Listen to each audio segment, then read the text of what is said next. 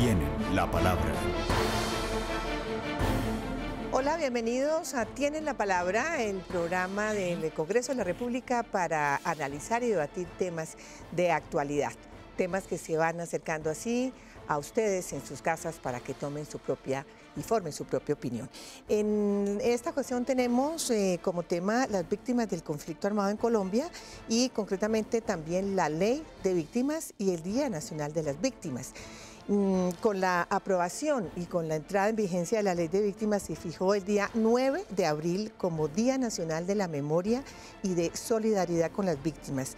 Entonces, este próximo 9 de abril, que tradicionalmente recuerda el asesinato del líder liberal Jorge Eliezer Gaitán, será una fecha también para rendir homenaje al dolor al dolor inmenso de todas las personas que han sufrido y sufren el conflicto en Colombia.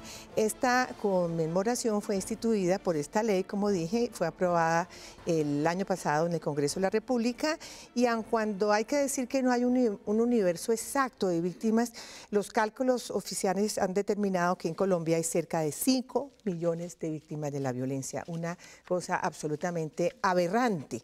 Eh, en fin, para hablar de este tema, tengo a dos personas invitadas hoy que son expertas en, víctimas y que representan a respectivamente dos ONG importantes, una extranjera y una nacional. Está en primer término el doctor Luis Emil Sanabria, presidente y director ejecutivo de Red de Paz. Él es docente universitario con estudios en convivencia ciudadana, cultura de paz, derechos humanos, derecho internacional humanitario, prevención del desarrollo violento de conflictos y alertas tempranas. Y tenemos también al doctor Rodrigo Rojas, quien es delegado Paz Christi Holanda, eh, la ONG más grande de ese país, es administrador de empresas con posgrado en geopolítica y fue un participante muy activo en los procesos de paz de los años 90. De manera que vamos a arrancar con esto y yo creo que inicialmente para poner en contexto a nuestros eh, televidentes podríamos empezar por decir cada uno en una forma sintética, desde luego, qué es cada una de sus ONG. Por ejemplo, eh, doctor Sanabria, ¿qué es Red de Paz? Bueno, Red de Paz es la Red Nacional de Iniciativas Ciudadanas por la Paz y contra la Guerra. Es la primera organización que nace en Colombia para trabajar por la paz en 1993. Tenemos 20 años, presencia en 216 municipios del país y trabajamos constantemente por la paz desde la Semana por la Paz y otros escenarios.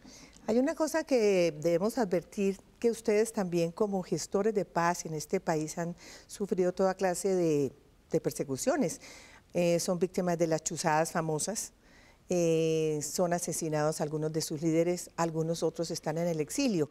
O sea que resulta sumamente comprometido y arriesgado, casi suicida, trabajar por la paz en este país. Sí, trabajar por la paz en Colombia siempre ha sido difícil, arriesgado, sobre todo en las regiones, en los pueblos apartados, también en las ciudades importantes. Nosotros, eh, compañeros nuestros han sido asesinados en Valledupar, en Cúcuta, en Medellín, en Bogotá, bueno, en la costa hemos sido víctimas de, las chuzadas. Doctor, perdón, doctor Rodrigo Rojas, Paz Cristi entiendo que es la ONG más grande de Holanda. ¿Qué hace esa ONG en Colombia? Bueno, es un movimiento de paz y derechos humanos. Está presente en Colombia desde el año de 1988, cuando ayudó a organizar en Ginebra la primera conferencia sobre derechos humanos en Colombia. Sí. Ha trabajado activamente en los procesos de paz acompañó el diálogo con la corriente de renovación socialista que el 9 de abril cumple 20 años de su desmovilización. Eh, estuvimos con el gobierno holandés eh, participando en el primer proceso de veeduría oficial de un gobierno a un proceso de paz. Hemos participado también en procesos de, eh, de reinserción, reincorporación, y hemos acompañado los procesos de, todo, de todos los sectores que hayan buscado una salida negociada. Inclusive fuimos la única ONG europea que estuvo en Santa Fe Ralito. Habría que preguntar también si en relación con la desmovilización paramilitar estas organizaciones estuvieron presentes. Bueno, nosotros estuvimos, acompañamos el, proceso, de hecho hicimos parte de la Comisión Nacional de Reparación y Reconciliación, en ese entonces con nuestra delegada Ana Teresa Bernal. Entonces hemos, nuestro, nuestro trabajo siempre ha sido eh, abogar por una negociación con todos los actores armados. Ya, ¿ustedes también estuvieron en ese proceso? Sí, nosotros apoyamos ante el gobierno holandés que financiaran a la MAP-OEA, que fue la misión de seguimiento al proceso de paz que se hizo con las organizaciones de autodefensa y estuvimos acompañando algunas reuniones y creemos que, que, fue un hecho importante también de paz para el país. Claro que sí. Doctor Sanabria, sin embargo, se habla hoy en día y se debate el tema de la desmovilización liderada por el presidente Uribe de los paramilitares, porque se dice que hubo por una parte engaño, razón por la cual está huyendo el doctor em, Luis Carlos Restrepo, el prófugo, y también se dice que no una desmovilización completa, que inclusive después todas esas personas que quedaron, em, digamos, armadas, se convirtieron en BACRIM, las bandas criminales. ¿Usted cree, cómo analiza eso? Es decir, ¿fue exitoso o fue un fracaso esa desmovilización paramilitar? Bueno, tiene de ambas, de ambas, de ambas cosas. Eh, la negociación con, las autodefensas pecó de, falta de transparencia. Es decir, la sociedad colombiana no conoció realmente qué se negoció y hasta dónde se negoció. De hecho, eh, eso llevó a muchos límites del acompañamiento tanto nacional como internacional al proceso. Y también el hecho de que muchos de los comandantes o los comandantes más importantes fueran extraditados. Eso también impidió un proceso real de reincorporación, de reinserción y todo esto unido a altos niveles de impunidad que nos dejó la, la llamada Ley de Justicia y Paz y que hoy ya tiene de vuelta a muchos comandantes eh, saliendo de las cárceles sin que conozcamos la verdad, sin que haya una reparación y por supuesto uh, un proceso de reconciliación bastante deficiente. Ok, doctor Rojas, su mirada sobre este punto específico también, porque es que digamos que las, los crímenes y las masacres y las actuaciones de los paramilitares superaron aún si cabe, por decirlo de alguna manera, eh, la crueldad y la sedencia de las FARC. Es decir, ahí no se sabe si se tira una moneda al aire, se queda de canto. Eh, ¿Cuál es su mirada sobre este exacto tema de la desmovilización paramilitar en Colombia? Bueno, como le decíamos nosotros, sí tuvimos un diálogo y encuentro con las autodefensas. Estamos de acuerdo en que se haya desmovilizado, que si no se hubieran desmovilizado los 30 mil miembros de las autodefensas, este país sería mucho peor de lo que está sufriendo en violencia. Sí. Es decir, sí hubo un cambio cualitativo en las condiciones de, ciertas regiones del país. Sí. Es cierto también, y comparto con Luis Emil, no hay un solo borrador, no hay un solo papel escrito, ni una sola palabra, que fue lo que se pactó ahí. Entonces, los acuerdos se hicieron por debajo de la mesa y eso facilitó incumplimientos de lado y lado. Incumplimientos porque el gobierno facilitó la extradición. Sin embargo, analizamos la situación hace poco y algunos de los extraditados ya volvieron. Sí. De los 16 extraditados, dos están pagando sus penas, uno en Barranquilla y otro en Medellín. Pero tampoco se sabe en qué condiciones eh, se fueron, en qué condiciones regresaron. Regresaron. Entonces, y el problema más grave es el déficit de verdad. Sí. Es decir, de, hay verdad muchas, justicia y reparación, claro. Hay muchas verdades que la gente inclusive no está esperando que les hicieran reparación o que fueron condenados, sino en el caso específico, por ejemplo, de las desapariciones. Sí, de saber dónde están sus muertos. Exactamente. Claro habrían unos 30 mil personas que todavía no hay ninguna claridad sobre, sobre, lo que pasó. ese tema. Bueno, tenemos que ir a unos mensajes institucionales en este momento, pero ya regresamos con nuestros dos invitados y con este tema de las víctimas, la ley de víctimas y el Día de las Víctimas.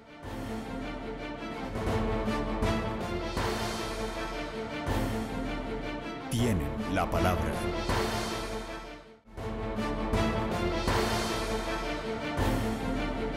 Tienen la palabra. Muy bien, eh, estamos de regreso con Tienen la Palabra, esta vez sobre las víctimas del conflicto armado en Colombia, porque el miércoles 9, como les conté al principio del programa, 9 de abril, fecha en que tradicionalmente se ha celebrado, se ha conmemorado el asesinato de Jorge Eliezer Gaitán, se ha designado como el Día de las Víctimas. Ese miércoles habrá una reunión del Congreso de la República eh, organizada por eh, la presidencia del Congreso, mm, donde se recibirán delegaciones procedentes de La Chinita, San José de Apartado, Mapiripán, Tibú, La Gabarra, Ovejas, El Salado, San Maniego, Barbacoas, Macayepo, Bahía Portete, Puerto Alvira, Segovia y decenas de municipios de todo el país, las víctimas para reafirmar que están dispuestas a caminarle a la paz.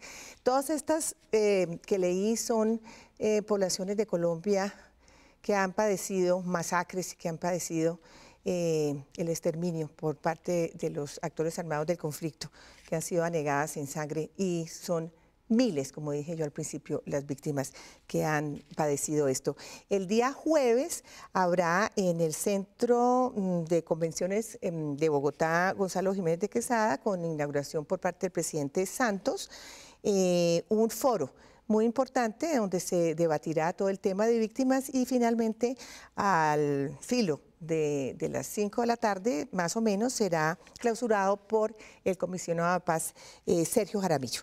Bueno, continuamos con nuestros invitados de hoy para seguir hablando sobre el tema de víctimas, el doctor Luis Emil Sanabria de Red de Paz y el doctor eh, Rodrigo Rojas delegado de Paz Cristi. Y habría que hacer un recorderis aquí que nos sobra, porque aquí nos eh, hemos acostumbrado a que si nos estremecemos un día, por alguna de las atrocidades que suceden en este país, en los seis días siguientes de la semana nos olvidamos de ello. Por ejemplo, el Centro de Memoria Histórica mm, publicó un eh, estremecedor informe el año pasado donde daba cuenta de 6.043.473 víctimas del conflicto, así con, ese, con esa precisión desde 1984.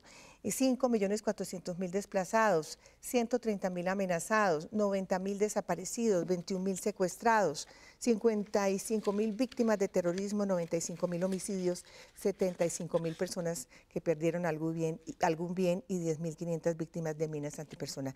Es decir, una hecatombe y nosotros hemos estado sentados en, la, en el agua fría de la paila, como la rana, que no se da cuenta a qué horas se va calentando el agua hasta que hierve y la, y la asesina. Eso nos ha ido pasando paulatinamente a lo largo de los años. ¿No es verdad, doctor Sanabria? Bueno, esas cifras son lamentables y dolorosas. Eh, Colombia tiene más desaparecidos que todos los regímenes dictatoriales de América Latina. Eh, todavía tenemos el deshonroso primer lugar en el tema de minas antipersonal en el mundo. Eh, todavía seguimos reportando desaparecidos, desplazados, amenazados. Entonces esta situación eh, por la que atravesamos actualmente debe tener un basta ya, debe tener un compromiso de la sociedad y por supuesto para esto está la ley de víctimas y todos estos esfuerzos que hace la sociedad civil y, el gobierno. Sí, es muy importante recordarle a nuestros televidentes que el doctor Juan Fernando Cristo, quien es senador por el Partido Liberal desde hace alrededor de 18 años, de 18 años, si no estoy mal, fue elegido hace año y medio como eh, uno de los mejores congresistas por casi 2.000 líderes de opinión encuestado por las eh, firmas Cifras y Conceptos sobre temas diversos. Cristo se ha caracterizado por haber sido un permanente defensor de las víctimas de la violencia en Colombia y su apoyo fue definitivo para la aprobación de la Ley de Atención y Reparación de Víctimas del Conflicto Armado que por primera vez visibiliza y cobija a miles de colombianos que han sufrido el asesinato de sus seres queridos por parte de los llamados actores armados del conflicto. Entre otras cosas, el mismo senador Cristo, quien ya no regresa al Congreso para la próxima vigencia, pero estará aquí hasta el 7 de agosto de 2014, mm, pues eh, es víctima porque su padre fue asesinado por las FARC. Bueno, continuemos entonces con con el tema de los derechos humanos, ¿cómo, cómo, cómo analiza usted la situación de derechos humanos en este país en este momento que hace relación directa con el tema de víctimas, desde luego? Yo creo que el primer, el primer problema o el más importante de las víctimas es la revictimización. Es decir, no existen todavía plenas garantías para que las víctimas que lograron a través de esa ley la restitución formal de sus derechos ciudadanos y sus derechos fundamentales, como el derecho a vivir en el sitio donde ellos escojan, lo puedan hacer. decir, la situación todavía de presencia de Bacrín, la existencia de un conflicto armado todavía que no se ha superado, que no se ha resuelto, hace que las condiciones sigan existiendo para que haya victimización en este país. ¿Y usted cree que hasta el momento, digamos, con lo que va corrido de la implementación de la ley y demás, podría decirse que vale la pena lo que, lo que se ha logrado hasta ahora o que realmente hay un gran déficit sobre la aplicabilidad de esta ley?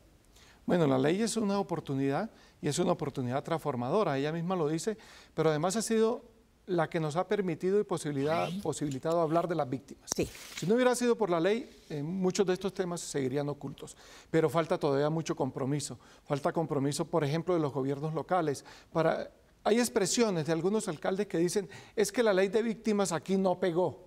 ¿Qué quiere decir eso? Como si fuera una moda. Sí. Es decir, la ley es una moda y aquí no pegó, entonces por eso aquí no atendemos las víctimas. O si atendemos las víctimas, esto se nos va a llenar de desplazados. O algunos funcionarios que le rompen las declaraciones a las víctimas en su cara. O víctimas, por ejemplo, que no han podido acceder o que tienen temor de acceder o de solicitar la restitución de sus tierras porque se sienten indefensos o en, condiciones muy difíciles. Generalmente los amenazan de muerte si, siguen insistiendo en la recuperación. En el tema de tierras, en el último año han habido ocho asesinatos de líderes que piden la restitución de sus tierras. ¿Y qué ha pasado con las investigaciones sobre esos crímenes? No, todavía no tenemos resultados. ¿Por parte de la Fiscalía nada todavía? Todavía falta mucho, hay muchos niveles de impunidad de lo viejo y de la revictimización, como dice eh, Rodrigo. Entonces, creo yo que la ley es importante, que hay que seguirla apoyando, que hay que seguirla impulsando, pero creo que también el gobierno nacional, no, no solo la unidad de víctimas, el sistema en su conjunto tiene que comprometerse más, porque uno siente hay veces que a la unidad de víctimas la dejan sola, que a la unidad de restitución la dejan sola, que al centro de memoria está solo, pero bueno, el Ministerio de Salud, el Ministerio de Vivienda, el, Ministerio de Trabajo, eh, los otros ministerios, claro el Instituto Colombiano de Bienestar Familiar. Creo que allí falta más acompañamiento y más compromiso. Es una acción conjunta del Estado, ¿cree usted? Sí, hay una debilidad institucional. Es decir, el Estado no está en capacidad de poner en plena aplicación la ley de víctimas. Y la comunidad internacional, a pesar de algunos esfuerzos individuales, tampoco ha rodeado la el, tema de, víctimas y el tema de la, restitución. Hay temores. Eh, por ejemplo, en algunos casos de retornos a casa de las víctimas, eh, la, la cooperación internacional es muy débil en ese sentido. Es decir, no hay plena confianza tampoco en los organismos de seguridad del Estado ni en las autoridades locales. Entonces se recurre a algunas organizaciones internacionales para eso, pero hay muchas dudas sobre si se puede asumir o no se puede asumir. Los costos son altos y es un proceso que no tiene límites. No, no, se sabe hasta el momento en que se debiliten los agresores, entonces no, no se puede tener plena garantía de que no va a haber Desde victimización. Desde luego, porque además 6 millones y pico de víctimas eh, pues desbordan cualquier capacidad del Estado y si siguen ocurriendo los, eh, las persecuciones, las masacres, los ataques, los asesinatos, las amenazas, pues es una cuestión de nunca acabar. Mm, tengo que ir a unos mensajes institucionales, le doy enseguida a usted la palabra, doctor Sanabria, para hablar sobre, hablemos sobre las conversaciones en Cuba entonces, porque visto esto, planteado esto así, le recorre a uno un escalofrío por la espalda pensar qué va a pasar si se lograra un acuerdo en Cuba para desmovilizar una guerrilla. Enseguida regresamos.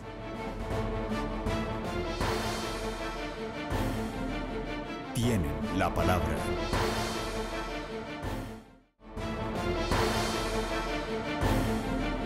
Tienen la palabra. Bien, seguimos con nuestro tema sobre las víctimas del conflicto armado en nuestro país. Y les recuerdo que el Jueves 10 de abril, los 500 líderes de víctimas eh, de Colombia se reunirán en el Centro de Convenciones Gonzalo Jiménez de Quesada. En el marco del seminario Las Víctimas le Caminan la Paz, que será inaugurado por el presidente Juan Manuel Santos. Eh, dice aquí que todas las víctimas del conflicto armado reconocidas en la ley de víctimas tienen derecho a la reparación integral Y, esto que ustedes dos han estado conversando, ya hablamos de Cuba, eh, pues no parece aproximarse mucho a, esta, a la realidad que tenemos en el país, ¿no le parece? Bueno, yo creo que la integralidad tiene muchos elementos, los conversábamos anteriormente. Por ejemplo, el acompañamiento psicosocial. ¿Qué hay que hacer con esa cantidad de víctimas? ¿Cómo las podemos acompañar? Y a la sociedad en general, porque recordemos también que esta es una sociedad que ha sufrido en general todos los embates de 50 años de conflicto armado.